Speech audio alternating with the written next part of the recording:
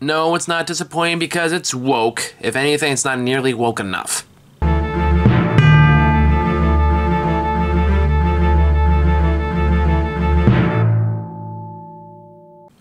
All right, there's my clickbaity uh, intro for y'all there. So here we're talking about Disney's Wish, which is the latest big Disney release um, that is supposed to be the culmination of 100 years of Disney magic, blah, blah, blah, blah, blah. Uh, and right off the bat, it should be said that for the most part, I like most Disney movies that actually come out, at least the animated ones, live action ones, and not so much, but like the animated ones usually have a lot of heart. The animations are usually always gorgeous, always good story, even though it's like sometimes like not exactly complicated. Um, and even like the worst ones they've released over the last few years been just kind of okay. Um, I would say this is probably the worst Disney has put out in a long time. There's a lot of reasons for it. Um, and before a lot of you get in the comments with me again after the whole Marvels fiasco, no, it's not because they made the main character black. No, it's not because it has a diverse cast, uh, uh, various races and ethnicities. Um, it's not because of any elements that you decided is woke or whatever the hell that means this week. It's disappointing because it doesn't really have much of identity of its own. Um, and it, here's what I mean by that is first I, guess let me start things I like about this movie. Uh, the main character Asha, I thought she was likable enough. She does get more likable as the movie progresses. It does feel like in the first act, especially, they are trying a little too hard uh, to make her seem quirky and uh, like, like, a quirky likable, which just translates to clumsy most of the time in these kind of movies. Uh, but once they kind of slowly drop that towards the second third act, her character does become more likable, and the actress who plays her uh, does a good job with her. I'm going to look it up on IMDb because I really should just pull up this page before I even start recording these things. But once again, we're in that stage where I have to talk about these characters' names and the actresses' names, um, and I am blanking on what they are, so I'm vamping so I can pull up the IMDb page and talk about who it is. So Asha, played by Ariana DeBose, uh, DeBose, I hope I'm pronouncing that right. Um, uh, she does an admirable job in the role. I think she does seem like having a lot of fun with it. The animation does look gorgeous and crisp. It looks better than it does in the trailer. Um, the 2D, 3D mix doesn't always work quite the way it should, uh, but for the most part, it's still like it's still Disney animation. It still looks great, um, and I, I, the way they design stuff and the way they animate stuff, I always like that style. I'm always going to like that style. Um, so like all that stuff looks good. I like that there's actually an actual honest to god uh, Disney villain in this movie, which because I've you've watched my last few reviews about Disney movies, you know one of my biggest complaints is I miss Disney villains. I miss the classic ones. I, I want more. Um, I want more Scar. I want more Judge Frollo. I want more. Um, like the oh, one Princess and the Frog, uh, Professor something. Uh, just more the classic, just pure evil villains, and you can add complexity, you can add sympathetic natures for them, just just make them evil. That's all I want. I don't want a redemption arc for the villain. I don't want them to see how they're actually a good guy towards the end, or they're just misunderstood. No, make them evil and keep them evil. And this one actually does that, so I like that.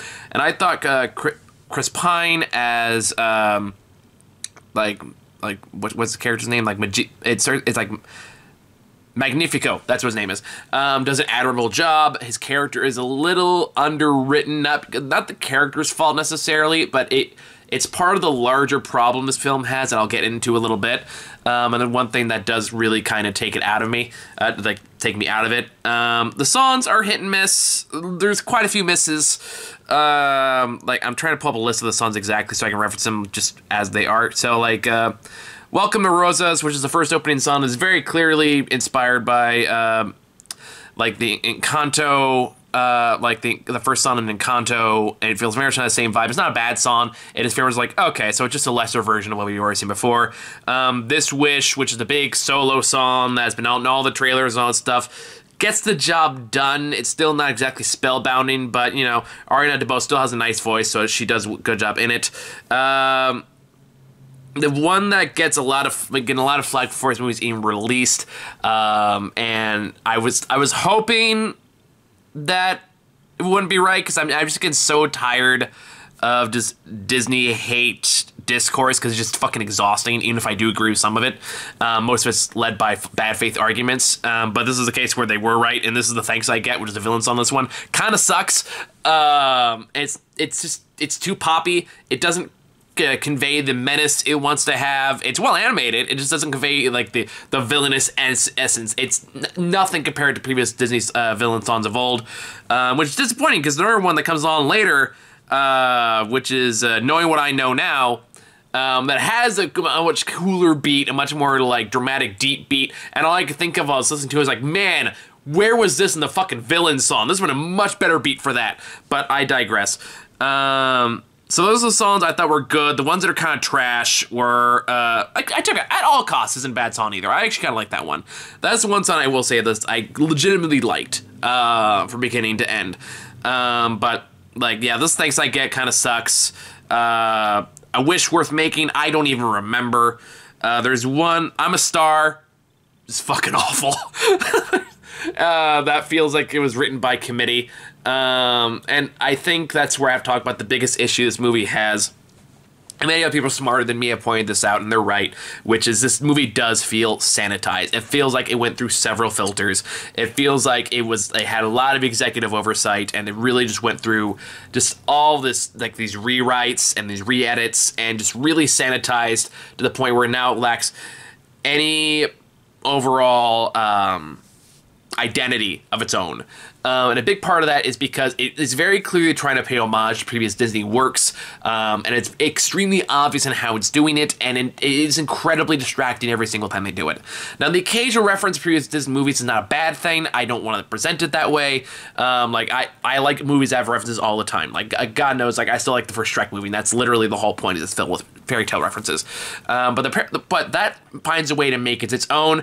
But this one almost feels self congratulatory in how it's doing it, and it's really in your face about how you're doing it. And I'll give you the perfect example. Um, so the main character of Asha has this group of seven friends. Um, now they're, they're very obviously modeled after seven dwarves. Um, they were very obvious about this, uh, very obvious about this. And I, when I finally picked it, I was like, oh, okay, they're supposed to be the seven dwarves, I guess, or an homage to them or whatever. Um, but then the movie really hammers home that they're based on the dwarves like every chance it gets like lines like oh poor sleepy so and so oh you, you're such a doctor. I'm, I'm making that one up but it's like oh you're so dopey or like this is why i'm so grumpy. Just shit like that. It's like oh I, okay i get it. I get it. I get it um, there's quite a few of that. There's a few references to Peter Pan in there that kind of shoehorned in. Uh, there's references like the fairy godmother, and all those things make it feel like this movie was so afraid to have its own identity, or had its identity stripped away from it some uh, somewhere along the production process. Um, that it just feels like a cut like a cookie cutter, paint by the numbers fairy tale story that really does lack I hate to use this term, but it's kind of true. Disney magic. Um, it feels like it, it it lacks the proper identity that even like its worst movies over the last few years have had. Um, and the message it has isn't necessarily bad. The overall message of the film is, uh, you know, go after like don't be afraid to pursue your dreams. Uh, go after what you want, that kind of a thing. And you don't know if it's going to happen, but you have at least have the right to try. That being said, even that feels like it has kind of a corporate edge to it because it does strike me as a bit ironic that uh, the message of a Disney film is like, yeah, artists, go try to be an artist. You won't try to be uh, you won't know if you'll be successful, but maybe you too can work at Disney. Now that one's more conspiratorial. I have no idea if that's true, but it, it does strike me as a very sanitized message compared to some of their other messages out, uh, over the past few years. Um, which is like you know like Zootopia talking about uh, like racism in society. Like Moana even has kind of a message about uh, like not trying to push yourself too hard for other people's expectations, um, or just other shit like that. Where it feels like there's actually more nuanced discussion. Or um, even Big Hero Six has like a message about grief and overcoming grief and learning that uh, like about like learning that causing more harm doesn't fix the harm that's been done to you um, stuff along those lines.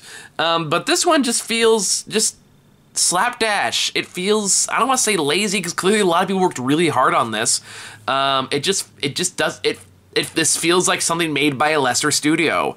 Um, it feels like some like it feels like Disney really should know better than this.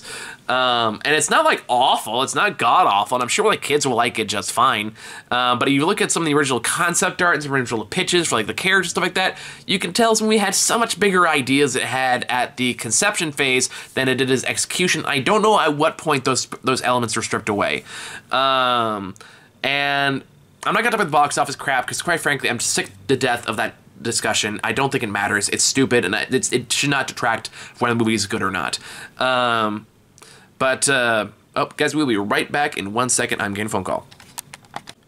apologies for the delay. Um, but yeah, as I was saying, uh, the box office results don't ultimately matter at the end of the day. What does matter is whether or not this movie stands up, um, not just previous Disney movies, but as a movie on its own, and whether or not it um, delivers what it needs to deliver, and I feel like it just doesn't. Um, the characters, the side characters, are all feel pretty forgettable. Um, Alan Tudyk's goat character, like animal talking animal character, is pretty forgettable. The star is cute. I thought the star was perfectly fine, um, but even that feels very much built for at, built for merchandise. Which, to be fair, all Disney is. Let's be honest. But this is a case where the the writing isn't strong enough to work around that particular thing, um, like it has been in many other Disney movies. Um, so yeah, overall, this is just a disappointing. I don't want to say mess, but just very filtered, very unoriginal, um, very forgettable um, Disney journey, which is just disappointing to see. Um, so especially since I do like I do think Disney is still whatever you will say about the company itself there's a, like God knows I do not support Disney as the mega conglomerate capitalistic monopoly it is. Um, but I do like its products. Uh, it's a very mixed relationship. Um, but this is definitely not what we expect from them, and you like this, like it, it needed, it needed more ambition. It needed more uh, excitement. It needed more something to give it its a life of all its own. Um, so yeah, I think it's all we have to say about Wish. It's it's unfortunately a very forgettable story um, that uh, I'm hoping they'll learn from and do better next time. But we'll see. I don't know at this point. Uh, so I think it's all I have for that one, guys. Thank you so much for watching. I'll see you on the next one, which I'm really excited to talk about. Talk to you soon.